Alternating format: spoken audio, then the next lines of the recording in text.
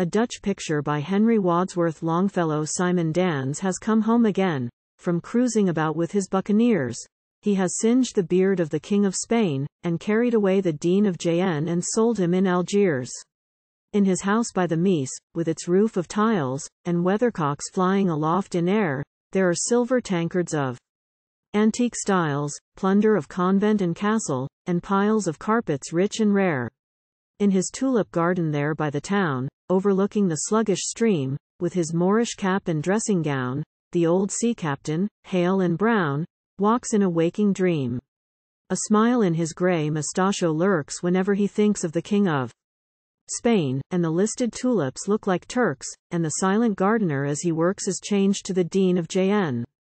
The windmills on the outermost verge of the landscape in the haze, to him are towers on the Spanish coast, with whiskered sentinels at their post, though this is the river Maese.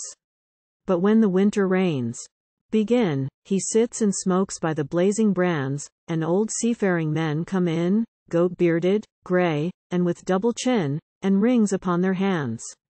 They sit there in the shadow and shine of the flickering fire of the winter night, figures in color and design like those by Rembrandt of the Rhine, half darkness and half light.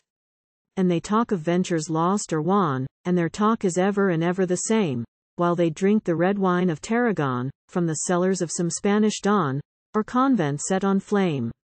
Restless at times with heavy strides he paces his parlor to and fro, he is like a ship that at anchor rides, and swings with the rising and falling.